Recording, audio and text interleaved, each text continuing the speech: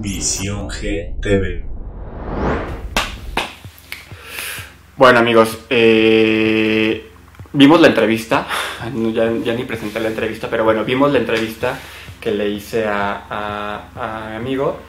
Es solamente, digo, no quiere decir que pues, lo que diga él es, es este es ley, pero es solamente un ejemplo, ¿no? De lo que pues, sí podría ser como importante y lo que piensa un, una persona gay que como les decía, o como es el objetivo del programa, pues no está, no pertenece a los, a, los ya adjetivos, a los estereotipos que, hablamos la vez pasada, ¿no?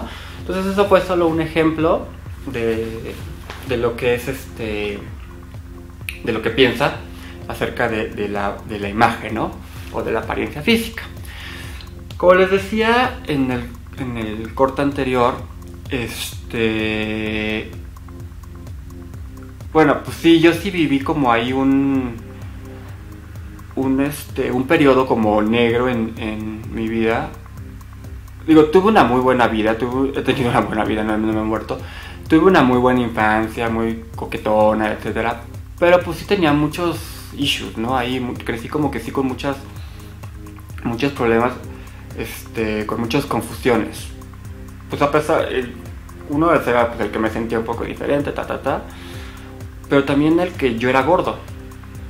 Y yo era muy gordo. Era un niño muy gordo. Vamos a ver las fotos de cuando era muy gordo. O sea, yo era unos jamones gigantescos, unos, una papada. Bueno, yo crecí de verdad con ese, con ese eh, macrotrauma.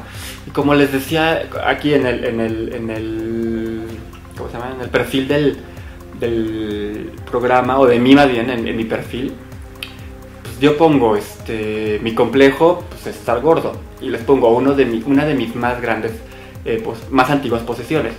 Pues mucha gente a lo mejor no entiende eso, pero pues ahorita se los explico. Es una de mis más antiguas posesiones porque yo desde chiquito he crecido con eso. Hoy en día, hoy, a mis 32 años, tengo todavía mucho el complejo de estar gordo y pregúntenle a cualquier amigo, o es todo el tiempo hacer ejercicio, este, vivir un poco a dieta, un poco, ¿no? Pero pues estar como en eso. ¿Y por qué? ¿Por qué? Porque crecí al lado de dos hermanos deportistas, muy delgados, mayores, que digo, los amo y son, o sea, los amo con toda mi alma, pero pues el pan pan y el vino vino, son, yo sí les, les achaco la culpa de que por ellos tengo ese complejo, ¿no? O sea, porque era diario, me molestaron, este, y me hacían, me hacían unas bromas terribles. Este, rápido les cuento una. Cuando salió el, cereal, el Hello Brand, acaba de salir al mercado, pues, lo compró mi mamá, pues, me lo da, nos lo dio. Y decía, bueno, es que ya con esto adelgazas. O sea, pues, en ese tiempo tendría, no sé, 6, 7 años. Y yo decía, bueno, comes esto y automáticamente estás adelgazando. Yo no sabía cómo funcionaba el cuerpo. Entonces, pues lo comí y, un día mis hermanos despertaron y dijeron, güey, te ves más delgado, más flaco. Y yo, ay, no manches, ¿cómo crees? Sí, sí, mira, pésate. De peso, ¿cuánto puede pesar un niño de 7 años? ¿Unos 30 kilos tal vez? ¿Unos 20 kilos? Bueno, ¿no? Algo así, no sé. Bueno, yo 30, porque estaba corto. Esto, 30, no sé, yo 40, no sé. Bueno, me, estaba la pesa y me pesaba 7 kilos. Y yo decía, no manches, estoy flaquísimo, se adelgaste. ¿Qué sirve esta madre? Sí, sí, mira, es más, hasta te podemos cargar. Y los cabrones, con todo su esfuerzo, me cargaban así hasta de caballito. Y ya viste cómo te aguantamos. Bueno, ese día yo era realizado. Al final, en la tarde, pues empezaron a cagar de risa, me dijeron lo que pasó. Y obviamente yo lloré, lloré, lloré y lloré. Sí, ahorita me puedo, me río mucho, pero ese tiempo no. Y la verdad es que sí, sí este, pues sí afectó, ¿no? Que, que, que me me molestaran, que en la escuela me molestaran. Yo tenía un apodo que obviamente jamás van a saber, ni me lo digan. Como jamás les voy a decir quién fue el amigo del cual me enamoré del programa pasado. Se quedará en el anonimato. Y este, tenía un apodo y lo odié, o sea, de verdad lo odié. Y ahorita que está muy moda la campaña del bullying, ¿no? Pues sí, también yo sufrí bullying por eso, por estar gordo, ¿no? Entonces, eh, pues yo crecí con eso Y, bueno, y también veía como yo y pues, mis amigos, porque obviamente tú te juntas con los otros rechazados, ¿no? Entonces, pues yo veía cómo molesta, ¿no? Y, y la verdad es que sí vas creciendo con un cierto, además del complejo, con un cierto trauma y una cierta, eh, pues un resentimiento, ¿no? O sea, sí, sí, sí te, te, te genera una autoestima bajísima y, y, pues te sientes un güey que, que, que es feo, que nadie lo va a voltear a ver, que... No sé, o sea, sí es... Empiezas a fijarte en, o darte cuenta de la importancia que es tener una buena imagen.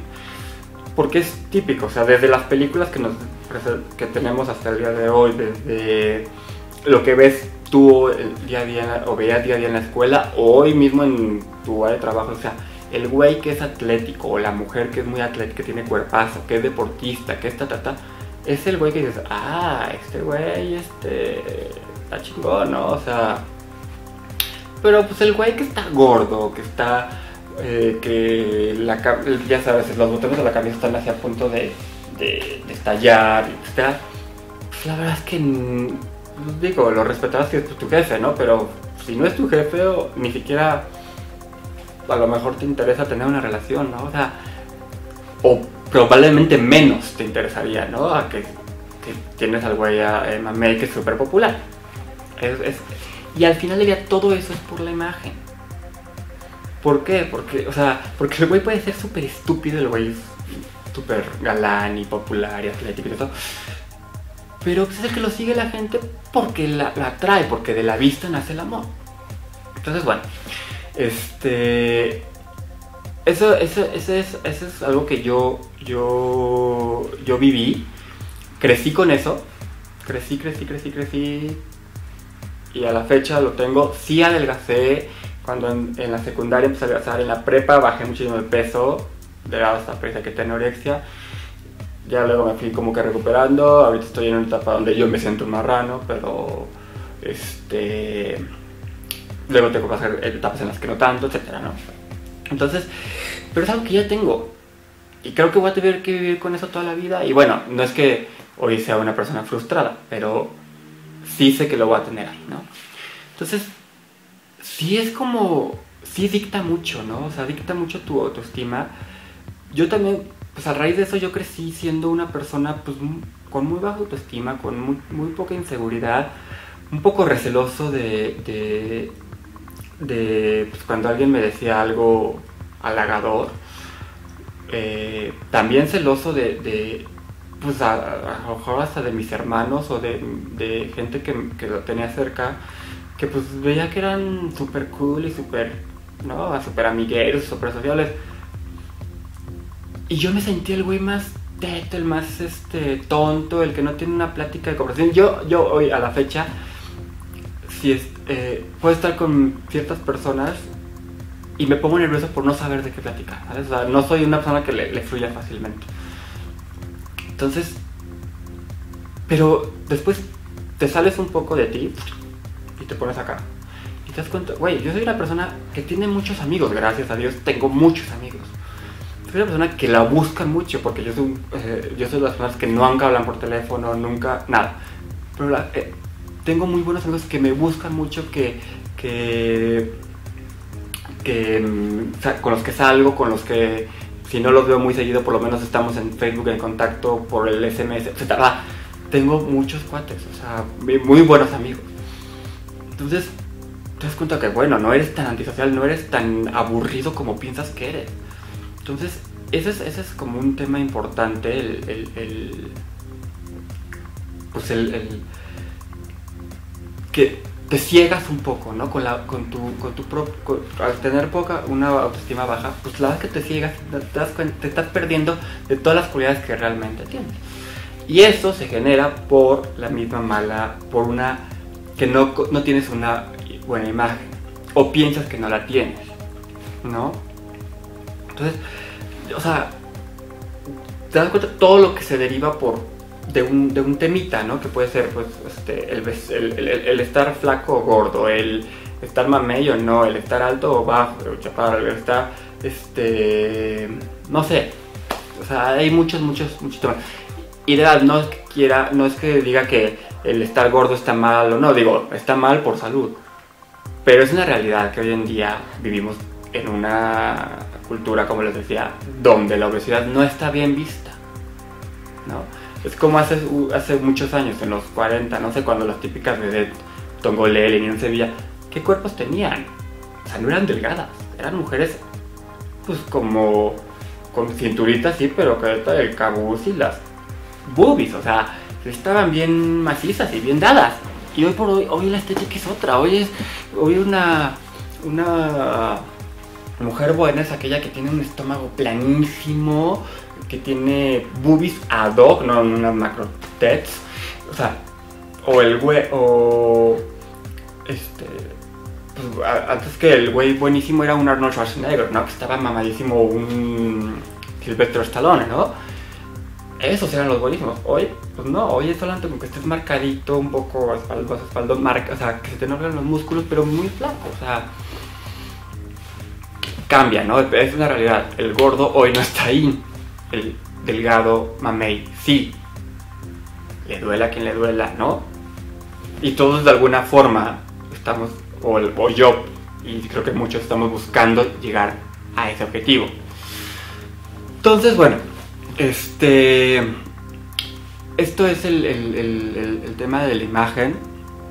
Eh, vamos al, al, siguiente corte y seguimos platicando. ¿vale?